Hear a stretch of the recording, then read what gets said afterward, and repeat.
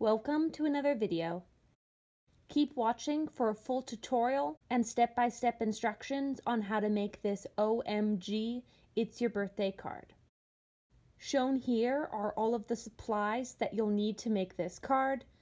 I've also linked all of the specific items that I used in the description box below, as well as provided a link to a free template for you.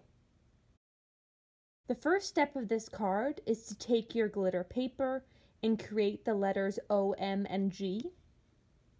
So what I had done previously is I created templates for each of these letters out of white paper, and then I simply took the letters and traced them onto the small squares of glitter paper.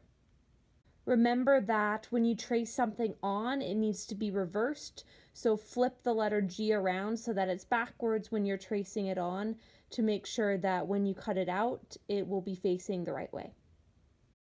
Once you have everything traced onto your glitter paper, take your scissors, or here I'm kind of using a scalpel paper tool to cut all of the letters out. I ended up using a combination of scissors and that kind of paper cutter tool.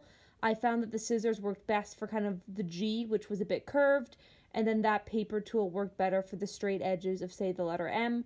But basically, you can use whatever you have laying around, that'll work and simply continue until you have all of your glittery letters cut out.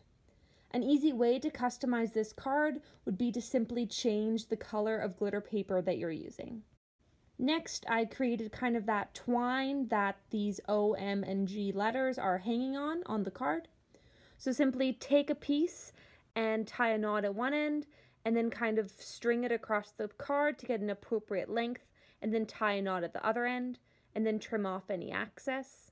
Once you have that the length you desire, so it has a bit of a loop to kind of simulate that these letters are hanging on it, simply take your glue and glue that onto the card. I added a dot of glue on each end and then a dot also in the middle. Here I'm using my favorite fast drying glue. Once you have that kind of small piece of twine glued on, the next step is to glue on the three letters. So take your glue again and just place some glue on the top of each letter and glue that on to the twine. I started with the letter M in the center to make sure that I had the letters kind of spaced equally and also centered on the card. Once the glue is dry, take your ruler and draw a straight line that you want the lettering It's Your Birthday to sit on. This will ensure that it's nice and straight when you draw it in. Once I had my line drawn, I switched over to my pencil and I wrote in the words. And once I had the words written in in pencil, I simply took a Faber-Castell pen in black and traced over the letters. As a final step, I took an eraser and simply erased kind of that pencil line that I had initially drawn for my lettering. And once you've done that and any other final touch-ups, this OMG It's Your Birthday card is complete. I hope you enjoyed the tutorial for a fun, unique happy birthday card.